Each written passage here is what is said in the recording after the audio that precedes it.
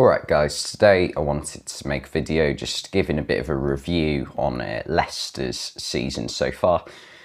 And it's not gone great, has it? Let's be honest. Uh, they're currently 17th in the league, not where they want it to be at all. It was a tough summer transfer window for them. And in the Cups, it's not been uh, horrendously bad. They went out in the FA Cup in the fifth round to Blackburn, which was a poor result. But in the EFL Cup, they managed to reach the, uh, the quarter final before a loss to Newcastle. So yeah, not too bad in the cups, but uh, in in the league, it's just been so inconsistent. They started off with a terrible run. Then in October, when they had signed Wout Faes and properly introduced him to the team, um, they started to get a bit more success and a, a few results started to come. I think they went on a, a, run of six games where they won four, I think, and uh, possibly drew another. Then, since around maybe just before the World Cup, it, has been back to poor results, really. And they had a couple of res decent results recently against Aston Villa and Tottenham, but then an, another run of bad results. So it's been bad run, good run, bad run, good run.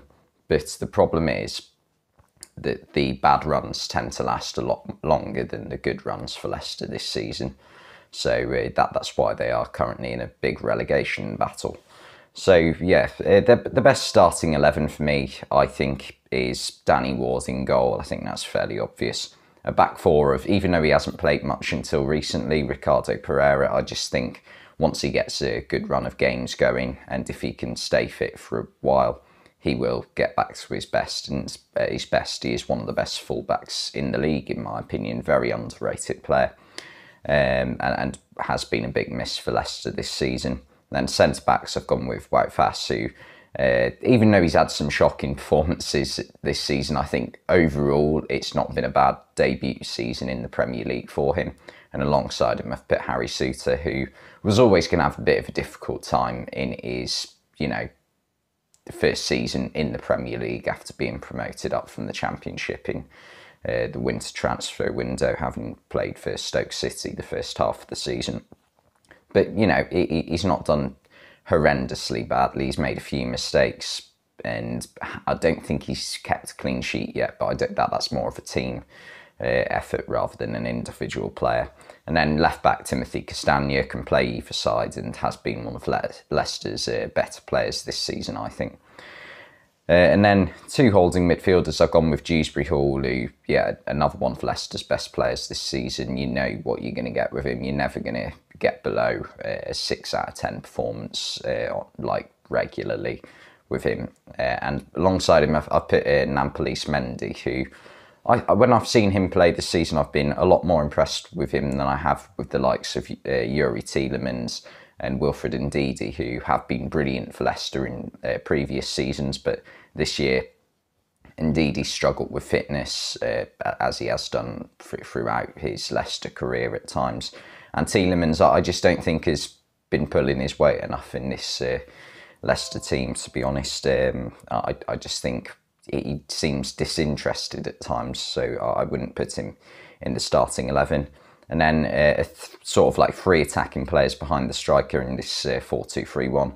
I've gone with Tete on the right, uh, new signing in January, and had a couple of decent games uh, against Aston Villa where he scored. And I also thought um, there was another game as well. I think it might have been the Tottenham one where I th- thought, uh, even though I only watched the highlights of it, um, he, he he seemed to uh, get the better of uh, Ben Davies on, on I think it was Ben Davies on a f- quite a few occasions. James Maddison and Harvey Barnes, first two names on the team sheet for Leicester, let's be honest. And then up front, I've gone with Patson Daka this season. I think he's probably been Leicester's best striker. I think Jamie Vardy, um, it, it, his new role in this Leicester team is uh, a super sub. And I say super sub the goals aren't coming for him at all this season. He, I think he's only got one in the Premier League.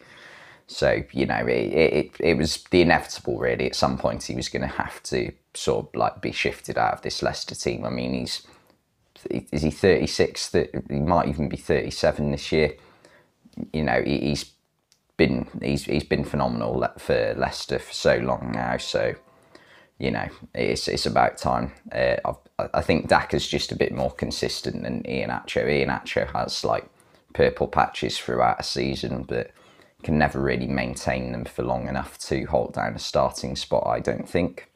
So uh, yeah, I've gone with uh, Patson Daka, and that's my starting eleven for Leicester. Um, manager Brendan Rodgers, he's he's done a good job overall at Leicester. We all know that. Uh, had two consecutive seasons from 2019 to 2021 where he uh, got Leicester, you know, really pushing for a Champions League spot, which was, you know, almost above expectation. And he even had a good run in the Europa Conference League last year, but this year it's not been good enough. And I fear for him that um, if if Leicester don't, you know, start to pull away from this relegation battle soon, his his you know position could be under threat and it'd be a shame because I, I don't think too much of it is down to him really. He's been dealt a, duff, dealt a difficult hand with um, like the finances uh, in terms of what he can spend on players. Like in the summer just gone, I think he spent a total of two million pounds. So you know, virtually nothing. Oh, uh, uh, that was before they signed Wout Faes, I think actually. But you know, he, he's not had uh, a lot of money to spend for a team that have been in European football for three successive seasons up until this one, I think. 2019, no, 2020, no, maybe just the two seasons, but still, you know, you, you'd think they'd have a bit more money to spend with, um, as well as winning, you know, the, the FA Cup and the Community Shield. So, yeah, he's been dealt a difficult hand. So, yeah, I, I feel a bit for him, but yeah, it, he's going to be, he's, he's going to be, uh, under a bit of threat soon if results don't improve. Uh, and then I, I, wanted to pick uh, a few players who I think could improve this Leicester team in terms of uh, incoming players. Now, this was quite hard to do because it's unrealistic that Leicester are going to be spending much money in the next 18 months or so. So I've gone with a, a goalkeeper in uh, Fraser Forster. His market value is 2 million. I think Tottenham are going to sign a new goalkeeper in the summer because they, they need to. And yeah, I, I think he'd be suited to uh, Brendan Rodgers' team because he is a goalkeeper who likes to come off his line quickly. So yeah, I think he'd be a good short-term fix uh, as a replacement for Kasper Schmeichel because Danny Ward sort of stepped up to it and has been good at times this season, but I, I don't think he's quite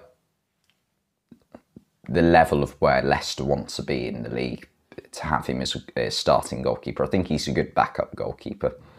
But um, yeah, and then I think they could do with a couple of attacking players in terms of maybe a winger or someone someone who can cover a winger and a number 10 role just because we don't know if James Maddison's going to go in the summer and also, I think I think someone like Harvey Barnes, they're very reliant on him as well. So you know they they need options, and I haven't been able to pick two players specifically, but I've I've picked it, it, someone.